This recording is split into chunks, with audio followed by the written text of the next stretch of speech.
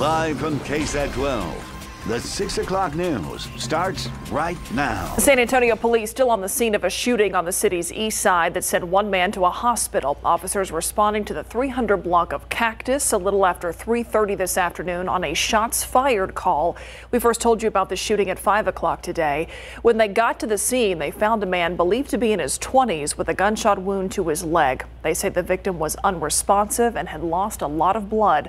He was rushed to a hospital. Police detained several people in the home where they believe that shooting happened, but no one has been arrested.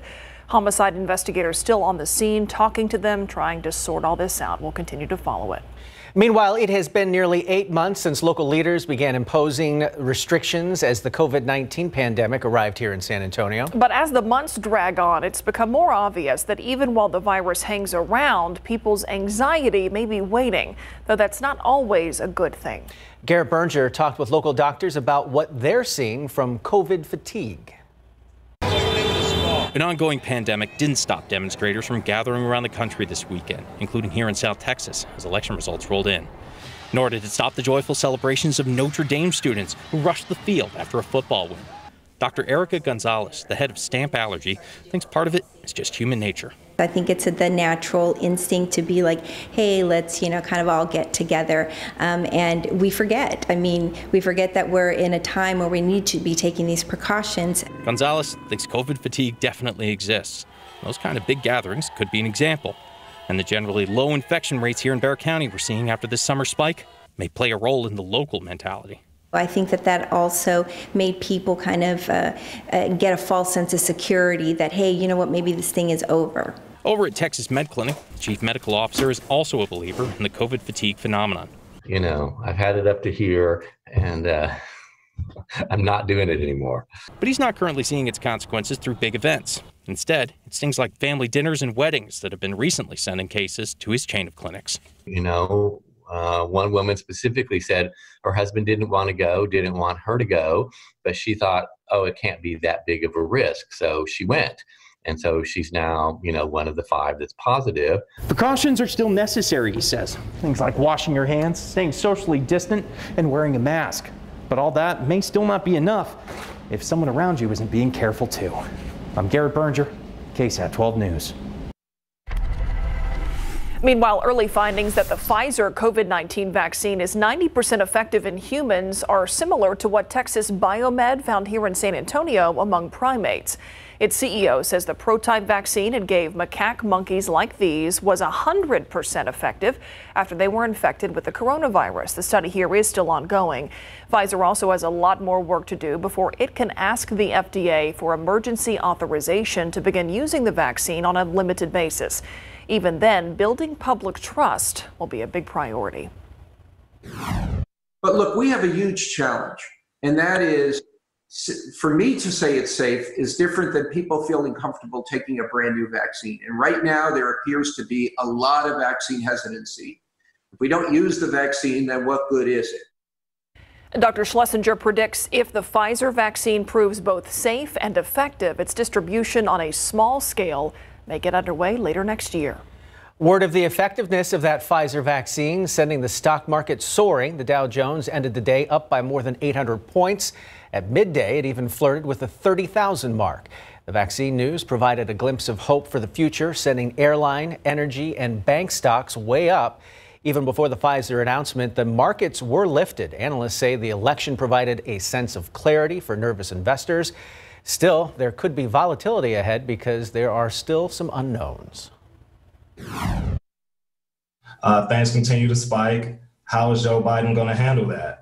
uh, what he's going to do, the stimulus package, what's going to happen with that. That's going to affect the stock market. As for your 401k, financial advisors do not recommend trying to guess and time the market. Instead, they say diversify your portfolio, make periodic investments, and be patient. A final gift for election workers. That's what Bexar County Elections Administrator Jackie Callanan called today's free COVID 19 testing event for her staff. The testing comes after long weeks of staff working directly with voters to help make sure their voices were heard during this election. While workers used protective equipment during the election, the testing is a way to help them give them peace of mind. It was a promise we made to them when we saw all the election officials putting themselves out there for the voters for this fantastic election. And as we prepared and we gave them all the PPE and all the safeguards, we said, this is the final thing we can do for you. Callanan says the process of testing today went smoothly thanks to election workers having to pre register for the event. As of this morning, more than 890 workers had signed up. New at 6, during the pandemic, acts of bigotry and violence have erupted towards certain cultural communities, propelled by hate groups and conspiracy theories. Two communities being targeted Asian Americans and Jews. Courtney Friedman was invited to moderate a discussion led by the Israeli consulate about San Antonio's anti hate resolution and how it will help our region. That discussion will be released Thursday in its entirety on KSAT.com. In the meantime, here's Courtney with a preview. The pandemic hit, then blame was hatefully placed. One of the nurses went to a bakery and this person refused to serve her because she's Asian and she has the Chinese virus. Also targeted the Jewish community. Seems odd, but Consul General of Israel to the Southwest, Gilad Katz, says Jews commonly become scapegoats no matter what the event. The Holocaust, wars, uh, and we understood, we know that we have to stand up for what we believe in we have to share our values with other communities. And the Jewish community is doing that now with local Asian Americans being attacked and blamed for the pandemic, which originated in Wuhan, China. Unfortunately, many Asian Americans are reluctant to speak up since it's not in our culture to bring attention to ourselves. We felt that um, if people knew that their leaders uh, in their own jurisdictions uh, were standing up front and calling out these acts of hate and expressing support that, that people would feel more comfortable. So the Anti Defamation League asked cities nationwide to adopt anti hate resolutions. San Antonio did so this summer. Hatred and intolerance is a rot, uh, and it must be cut out quickly or else it will grow. The consulate will be releasing this insightful hour long discussion on Thursday. Then we'll be putting it on KSAT.com and the KSAT TV app. Courtney Friedman, KSAT 12 News. Let's take a look at time saver traffic right here. The camera at I-10 and Crossroads. You can see this is headed towards downtown. The 410 I-10 interchange there. Uh, looks like there's some red lights there, little stalled traffic. Uh, not sure exactly what's causing a tie-up. You can see the one uh, car there off on the shoulder as the cars get onto that 410 ramp with the flashing lights. That may be what's leading to a bit of a slowdown here at I-10 and Crossroads. COVID 19 is taking a toll on Americans' mental health, but it may be affecting men and women differently. According to the Kaiser Family Foundation, 53% of women say they're feeling the stress from COVID, compared to 37% of men. As Ursula Perry reports, new research indicates a serious work life unbalance for some women during the pandemic. Meals, laundry, childcare. In most U.S. homes, household work was primarily mom's domain before the pandemic. But now? So we had this sort of unique opportunity to really understand okay, what happens when you're forced to be at home? Do men do more? Are couples sharing the work more? Or is it status quo? Pat said his research team surveyed 1,060 U.S. parents living with a partner of the opposite sex. They analyzed changes in the division of labor for household chores and childcare since the pandemic began. For a subset of, of women, about a third of women, things have gotten significantly worse. According to the survey, 34% of moms say they're spending more time house cleaning, 43% say they're doing more cooking. And don't forget, about kids' online learning. Women are taking on the majority of, of those tasks as well. But the news isn't all bad. In a number of families, fathers have increased homework time, and 45% of dads reported spending more time taking care of young children. There is a possibility in this study showing that once those restrictions are lifted, then there will be a restructuring in the division of labor between men and women. Then again, there's always the possibility that things just could go back to the way they were. Ursula Perry, KSAT 12 News. Taking a live look outside with live cam on this Monday. Saw a little bit of sprinkles on my windshield as I came into work earlier this morning. Lots of clouds out there all day. Not a real nice looking day.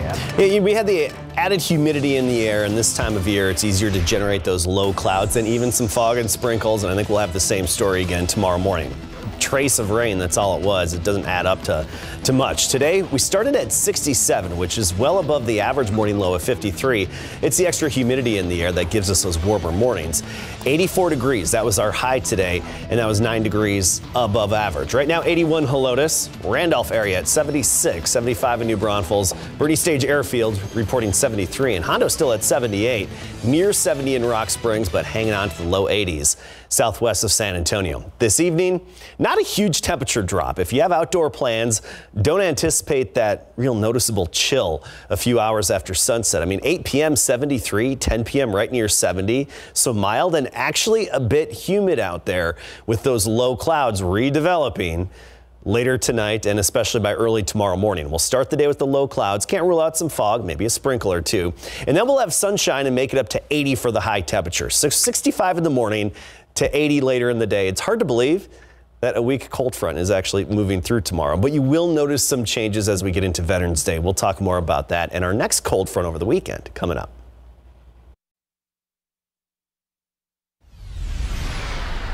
Just about time now for the daily briefing on COVID 19 cases here locally. Every Monday, we hear about the risk level for our area. Let's see if that has changed since last week. Let's go live to City Hall. Tonight, we're reporting a significant jump in new cases. It's 417, which brings our cumulative total to 68,044. The new seven day moving average is up to 234. Fortunately, we do have no new deaths to report tonight, but we know that uh, this pandemic has been very deadly and taken a number of our friends and family and loved ones from us. And so please keep their friends and families in your prayers this evening. The hospital system is treating 294 COVID patients tonight, including 39 new COVID 19 related admissions since the last 24 hours. We have 118 patients in the ICU and 56 patients on ventilators. It's Monday, and the progress and warning indicators look the same uh, roughly as last week.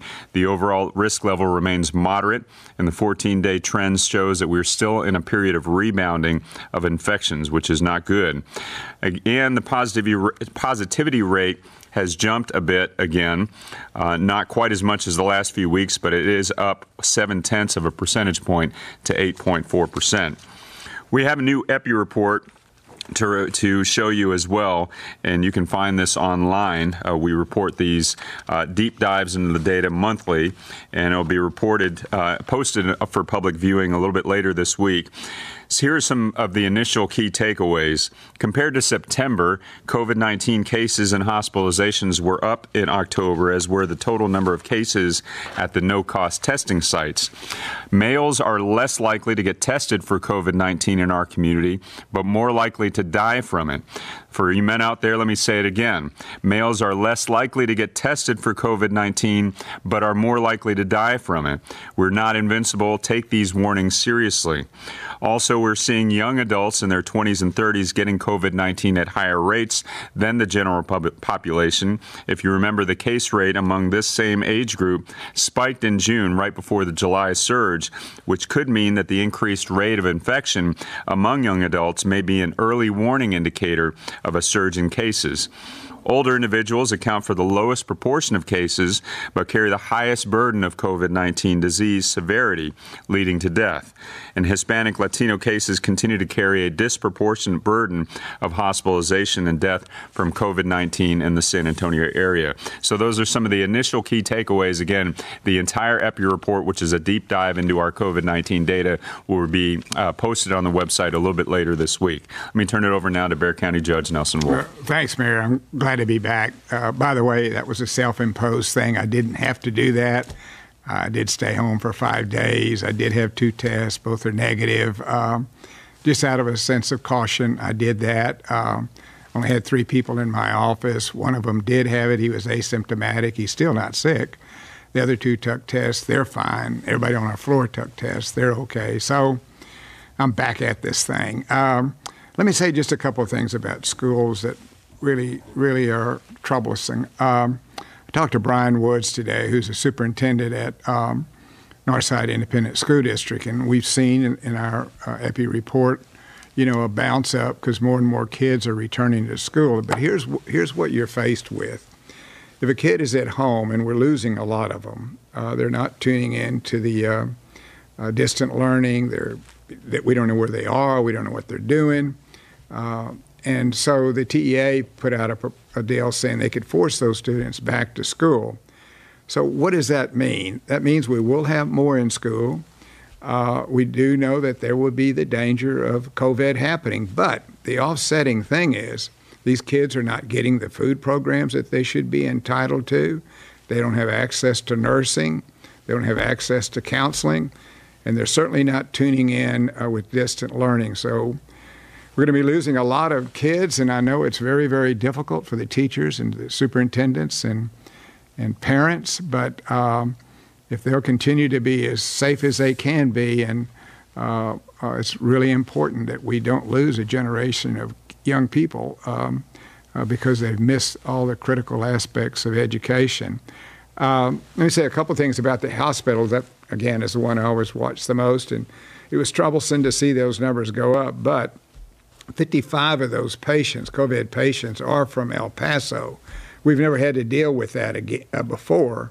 And so that's driving our numbers up. And I think what we were over 7%, 7 something uh, in terms of, uh, of, the rate in the hospital.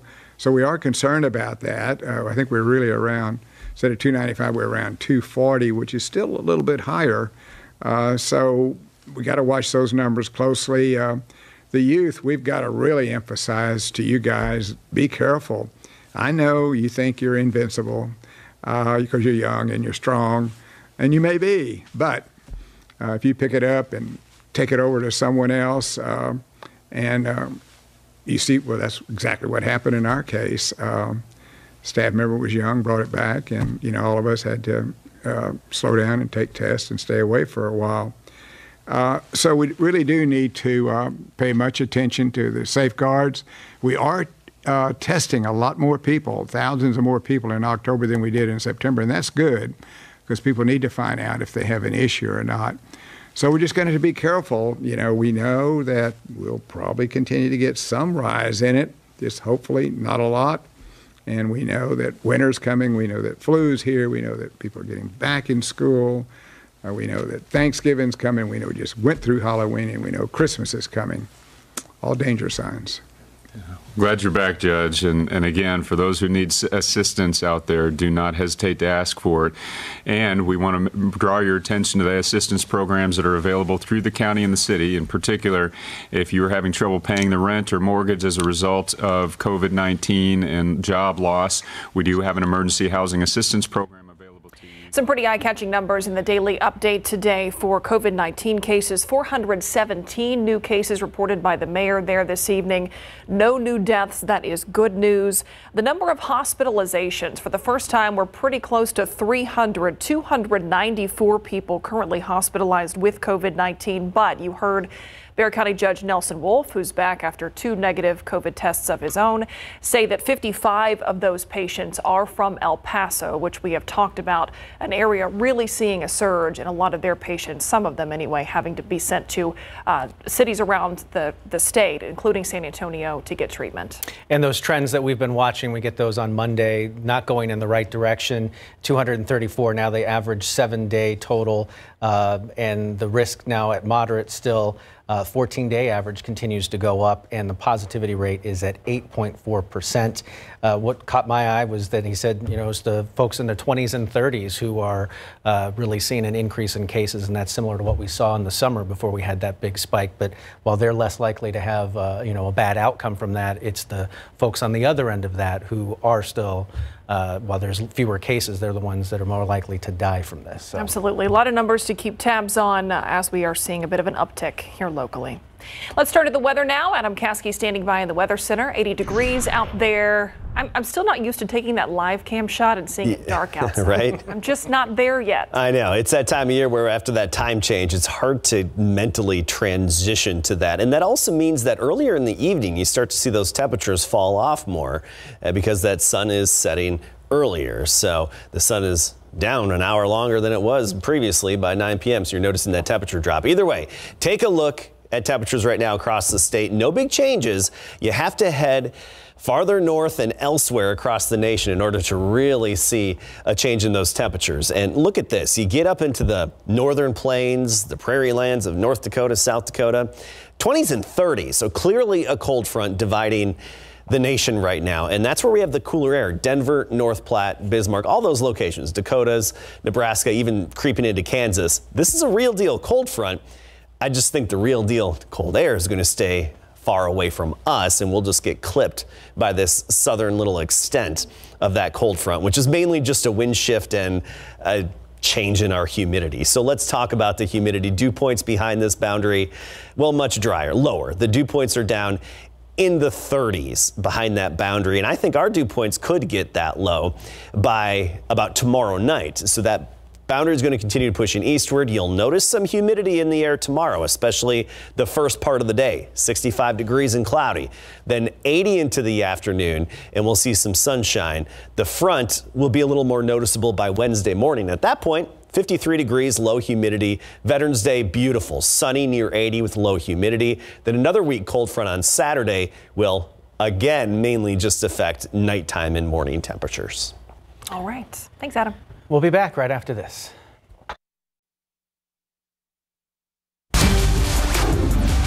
The Judson High School football program has been shut down immediately, will not reopen until November the 17th as concerns over COVID 19 and the resulting contact tracing have put everything on hold in Converse. That means Friday's big game and our big game coverage between the number one ranked Rockets and the third ranked Smithson Valley Rangers has been postponed. All of the drama unfolded right before our eyes during practice today as we were on campus for another story. Head coach Rodney Williams emerged from a meeting with athletic director Mike Miller to break the news to his team, and then Miller broke it to us. The game has tentatively been rescheduled for uh, December 4th at 7:30 right here. So everything will be the same. It's just that we're moving the dates back. Our district, in its wisdom, when in our district meetings, made an allowance for this kind of a, of a circumstance, and uh, this is the first game this year that that the Judson Rockets have had to uh, kind of reschedule. Now, our new big game this week will feature the Johnson Jaguars trying to stay undefeated against Madison Friday night at Hero Stadium. Just when the Fighting Texas Aggies are playing their best football in the Jimbo Fisher era, now this. All football operations have been shut down after the Aggies have learned of at least two positive coronavirus tests after returning from their best performance of the season. The 48-3 road route of South Carolina. Not only did San Antonio's own Kellen Mond throw four touchdown passes, but he ran for another. In doing so, Kellen broke the another school record for the most touchdown passes in his career. The Aggies now improved to 5-1. They're ranked number five in the nation, and with the schedule they have left, they can easily win out their final four and finish 91. Now Saturday's game in Tennessee is in jeopardy.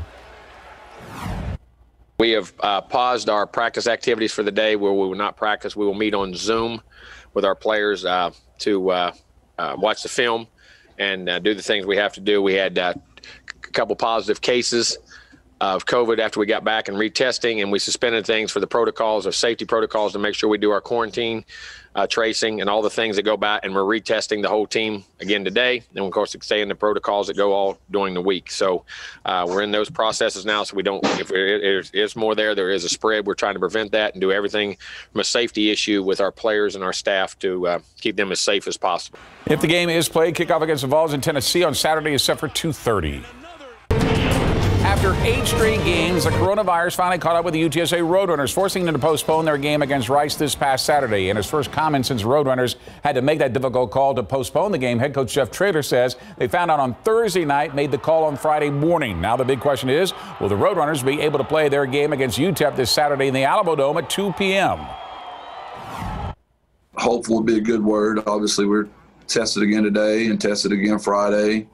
Um, still waiting for results. And just like I've told y'all many times before, I don't ever feel good till my headsets are on and I see the ball kicked off the tee and I know we're getting to play. It's just there's so many things that are uncontrollable. I think we need to be very careful. Now, Traylor would not get into specific on how many players were affected by the positive test or the contact tracing, but did say it started with two positive tests in the athletic department.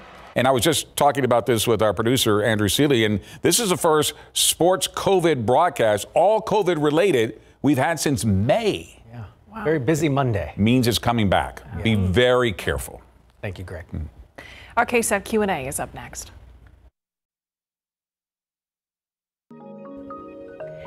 Election day has come and gone, and the days following, a winner has now been declared, but still a lot of questions for some people about what comes next. So let's get some perspective on that. Let's bring in Dr. John Taylor, UTSA political sciences professor. Thanks for being with us uh, here this evening. Let's first start talking about the lawsuits filed by the Trump campaign. How there are a lot of them. there are. I mean, you really have to kind of keep head on a swivel at this point to keep up with what's going on. So, how should people be uh, reading that information and trying to get a better understanding of where we go from here? Well, first of all, we do see lawsuits almost in every election cycle these days. We saw it in 2000, obviously, between Bush and Gore. We saw some in 2004 between Bush and Kerry. There were even lawsuits in 2012 and 2016. This is, I, I don't like to say normal, but this is typical of what happens the end game of a campaign, and, and particularly in a highly contentious election. How does this impact the transition stage here as this continues to, to play out? Obviously, we saw it in 2000. It went till December before it was really decided. How does that impact the transition that needs to happen? Well, this is a real difficult task because right now the, the head of the, of the General Services Administration is refusing to release the monies for the Biden transition team. Um, under the Presidential Transition Act of 1963, the president elect and vice president elect are supposed to be getting monies, resources, and personnel to begin that 70 plus day transition. It's not something that's very easy or simple. And given where we are now with COVID 19, with an economy, with a dangerous world, it's important to get that transition going.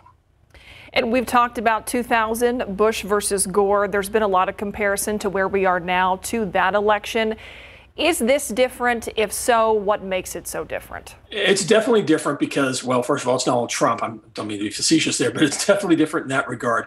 Um, it's different because the contentious contentiousness is over quote a stolen election, over voter fraud, especially in four or five states, which is different than what we saw in Florida in 2000. If there's an analogy, historical analogy, is more more akin to what happened in the election of 1876 between Samuel Tilden and Rutherford B. Hayes, where three states it was so contentious with three states in the electoral college congress had to have an electoral commission to, to finally figure it all out the president has said so far that he has no plans to uh, go to the inauguration of Joe Biden, if that in fact is what happens. Have we seen that happen before? Yes, we have. Actually, five times in our history. John Adams refused to go to, to, Thomas Jefferson's inauguration. John Quincy Adams refused to go to Andrew Jackson's inauguration. Probably the one that was probably the most contentious. Andrew Johnson, who was not running for, for reelection, obviously, but he refused. In fact, it was so nasty between Andrew Jackson and Ulysses Grant. Um, Woodrow Wilson didn't attend the inauguration per se. He actually attended uh, Herbert Hoover, excuse me, uh, uh, Warren G. Harding's uh, uh, at least escorted him to the U.S. Capitol, but didn't attend the inauguration because it was too cold for him. you have a wealth of knowledge when it comes to American politics, and I think that we can learn a lot about the history of where we have come and what got us to today. And we're certainly watching history be sure. written as we speak right now. Oh, yeah. Is there anything that we can glean from what's happened in the past to give us a perspective about what we're watching play out right now? Well, uh, people people need to calm down. That would be helpful if they could do that. This is politics. This is the way the electoral process works. It may be messy. People may not like how it, it seems to take so much time. Um, that's the way the mechanism is set up. This is why the Constitution sets the election in early November. Why the electors meet in December because you have that roughly two to, three to four week period to count the, the, the, the, actual votes to make sure things are certified. Then on December 14th, the electors actually meet to actually officially place Joe Biden and, and Kamala Harris as president, and vice president elect of the United States. Then Congress meets in January to actually read out the ballots and, and deal with any challenges that might come from the states. And then on January 20th, Joe Biden and Kamala Harris are inaugurated. I'm curious, as a professor, obviously you have a lot of young minds looking up to you and for guidance here. We're looking Maybe. to guidance for you. What are their What are their questions, and what are your answers for them about how to read all of this, how to, you know, just look at this and, and see history as it unfolds? Well, they're asking questions about why is this happening? Why does this seem to be so crazy? Um, why is it so contentious? And I've reminded them, I said, okay, I'm old enough to remember as a kid the 1960s, particularly 1968, and that contentiousness. Uh, to remember 1976 and the fact that election went on until 3:30, 4 o'clock in the morning before Jimmy Carter was elected. Um, you know, the, between Bill Clinton and George Herbert Walker Bush and Ross Perot in '92, this is the, the the, the the great tapestry that is American politics and, and the electoral process. Um, it's uh, I, I made a joke the other day that the presidential elections are political science's high holy day, and in some respects it is because it's it's fun, it's crazy, it's exciting, and I've gotten emails from from faculty and from from media around the world asking about you know what's going on and you know how do, how do we explain these things? Well, you know we don't explain it all. Um, that's part of politics and the fact that two years from now, things could radically change again. Four years from now, you could see a Republican win again. That's, again, the great thing about American politics. A lot of books to be written for sure. Yeah, I feel Oh, like yeah. we are all political science students at some degree. Uh, right Good. now in this day and age. Dr. John Taylor, UTSA political science professor, as always, thanks for your insight and your time. Pleasure. Thank you, sir. All right. We'll be right back.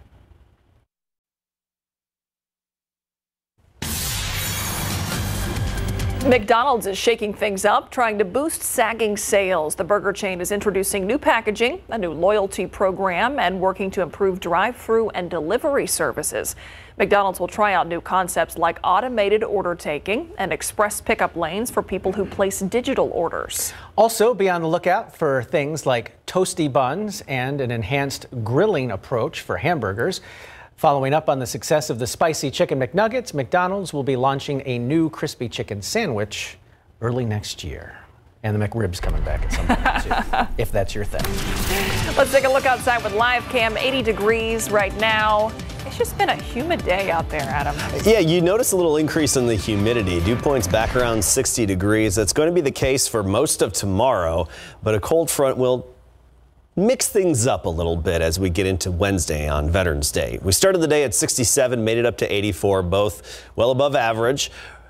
Rock Springs topped out at 73, Kerrville 79. You see where the clouds lingered a bit longer, especially in the hill country, but Pleasanton, Cotulla, Gonzales, New Braunfels 87 for their high temperatures. High temperatures, there will be some modifications, but especially in the low temperatures from a couple of cold fronts headed our way. We'll talk about that coming up. Definitely not the prettiest of days out there. No, and not feeling like I think it should for this time of year. Yeah, we are running above average. And Yeah. we had such a long stretch of cooler conditions behind a stronger real deal cold front well, about two weeks ago now. But now we've moderated and we're back above average. And a lot of this actually follows the trend of a La Nina pattern. We do have La Nina going on right now. And typically, as we get into the late fall and winter, that would favor above average temperatures and drier than normal conditions. And unfortunately, rain chances are still looking pretty slim. Here are the morning low temperatures in the days ahead. We do have a few cold fronts that will be affecting us, but they'll mostly be impacting the morning lows and the humidity level. And you can tell when those fronts hit. We get into Wednesday morning, a little bit cooler. Sunday and Monday mornings back down into the lower 50s. So some changes coming along the way, but mainly just in the morning. So let's take a look at temperatures. Let's talk about this.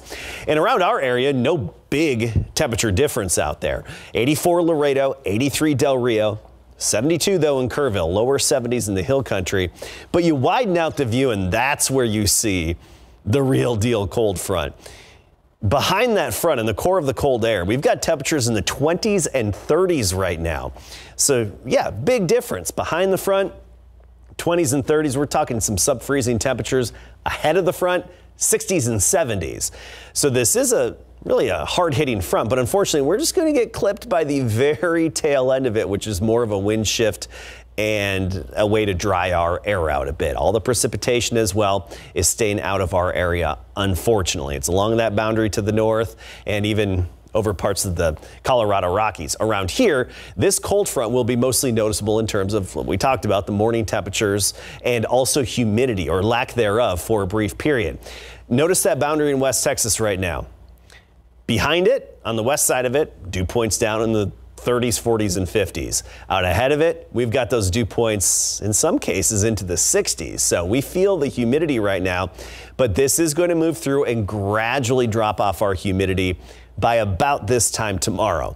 So tomorrow to start the day will still be pretty muggy, but then to by, by, tomorrow evening and tomorrow night, dew points drop and it's going to be comfortable. Dew points in the 50s, and that's why temperatures will be back down in the 50s by Wednesday morning. Though that humidity surges back into place by Thursday and Friday, only to be met by another cold front. And that cold front's going to hit this weekend and then drop those morning temperatures and that humidity again in the extended forecast. And in terms of moisture, you know, we do look at the tropics and we've been talking about Eta for a while now. This was a Category 4 storm about a week ago, making landfall on the northeastern coast of Nicaragua. Now it's a tropical storm, max winds at 50 miles per hour. It did make landfall over the Florida Keys, and that made it the 12th landfalling named storm this hurricane season in the Atlantic Basin for the United States, and that is a record for named storms making landfall. The worst was Laura, category four, which of course remember when that hit Louisiana. Either way, this is going to stay off to the east of us. Eastern Gulf of Mexico. It dumped double digit rainfall in parts of South Florida, and now it's meandered well, basically just off the northwest coast of Cuba. And it's not going to do all that much more in terms of impacting our overall weather pattern for us around here. It's just not going to be a player. They'll see some effects in the eastern Gulf of Mexico. So this evening, that hint of humidity in the air, it's back. It's not overly muggy and uncomfortable, but compared to how dry the air has been, you notice this. And mild too by 10 p.m. right near 70. Then low clouds developing again by early tomorrow morning. Maybe some patchy fog, a sprinkle or two, a little bit of drizzle can't be ruled out then we'll still make it to 80 degrees with sunshine by the afternoon. So kind of hard to believe a weak cold front's moving through. It's a weak one, but we're going to get it with that north wind at 10 to 15 and then a big drop in the humidity around and after sunset tomorrow evening. Low humidity on Veterans Day, 53 in the morning, but still sunny and 80 by the afternoon. Notice those high temperatures staying right near 80 degrees. It's the mornings that are going to be a little erratic and harder to plan ahead for. So just keep checking in and remember, Wednesday morning, and then Sunday and Monday mornings will be the coolest. All right. Thanks, Adam. We'll be right back.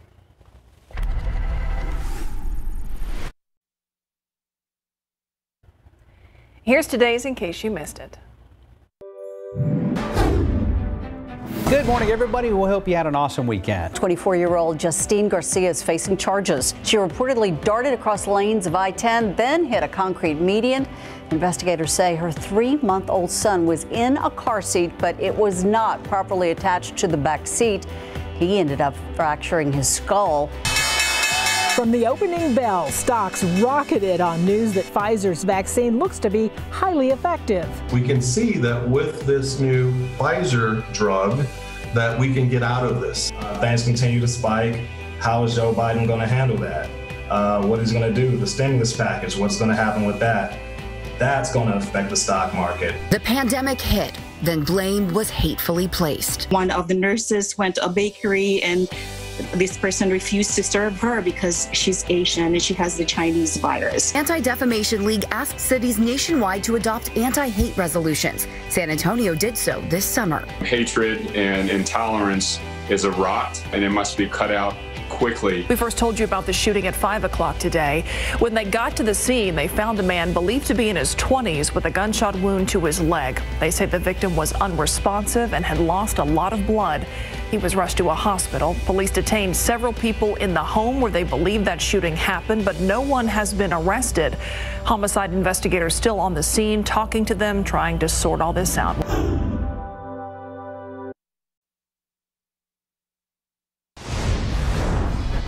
Let's take a quick look at news around America on this Monday. News of a possible vaccine turning out to be the shot in the arm AMC theaters stock needed.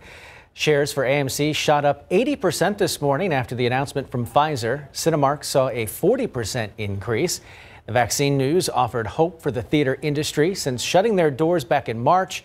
Chains like AMC and Cinemark have definitely struggled. They tried to reopen with safety measures to help curb the virus's spread, but audiences so far have been reluctant to come back.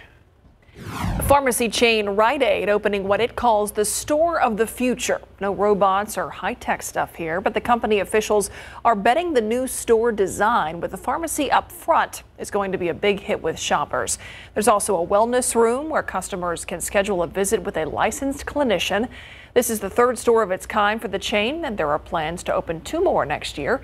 It comes at a time when drugstores are seeing some hefty competition from online retailers as people are making fewer trips to drugstores. I wish I had better news in terms of rain chances. Uh, odds are pretty slim here. We could have a stray sprinkler or two as we get into tomorrow morning, and maybe a passing sprinkle around midday with that front. Otherwise, Saturday, a 20% chance. Unfortunately, that's really our best shot anytime soon. Tomorrow, we'll start the day at 65 degrees, but still make it to about 80. We'll go from the low morning clouds passing sprinkle to a lot of sunshine into the afternoon. Also, you will notice a drop in the humidity after sunset tomorrow, and that's going to set the stage for a very pleasant Veterans Day. Sunny, 53 in the morning, low humidity and 80 by the afternoon. Highs don't change much the rest of this week. What does go up and down is the morning lows. They're going to be anywhere from the low 50s to the mid 60s. All right, thanks, Adam, and thanks for watching the news at 6. We'll see you back here for the news at 10. Have a good evening.